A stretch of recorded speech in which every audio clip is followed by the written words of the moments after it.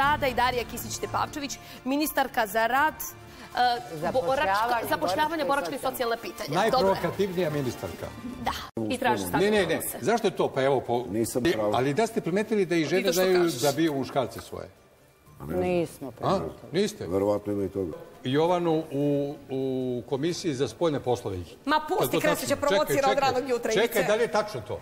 I on koji je stariji Ima i stariji, Toma je stariji od Da, prema tome nemoj... Toma je stariji od mene. Vidi, hvali se e, dužinom e, tvojeg pozitivnog mišljenja i miljackom. Pazi. Nije polako, već bliže. Ne bre, zašto samo u Vojvodini? Pa, me, pa mislim... Da dođe ovdje u Beograd. To si ti rekao, idi dalje. Da. E, Neću se mešam u kadrovsku Od 9 politiku. sati, od 9 sati videli